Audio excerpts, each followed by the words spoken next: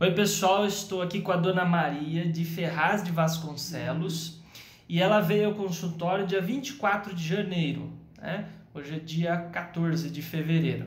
Então nós temos cerca de 20 dias aí que ela está fazendo o tratamento natural e a aplicação de ozônio. Como que a senhora estava quando chegou, dona Maria? Conta ah, pro pessoal. Tava muito mal. Tava, era dor por tudo quanto era lugar aqui no corpo.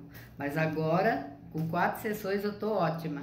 Tinha tô... dor na coluna, tava dor tomando na... analgésico Isso, direto antes, injeção, não tava? tudo. Tava resolvendo analgésico? Não, não. não e aí tava. agora a senhora com a aplicação do ozônio, tratamento Tá. natural? Tá maravilhoso. Tá ótimo. Tá Sem ótimo, tomar ótimo. nenhuma droga, nenhum medicamento Nada, químico nada, tudo natural. Recomenda? Recomendo.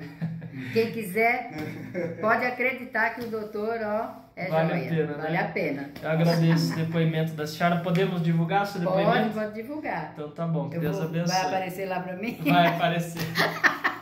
O importante é isso. Tá Tá, bom, então. Nossa, Tchau, tá tchau. maravilhoso, doutor. Muito obrigado, viu? Eu que agradeço.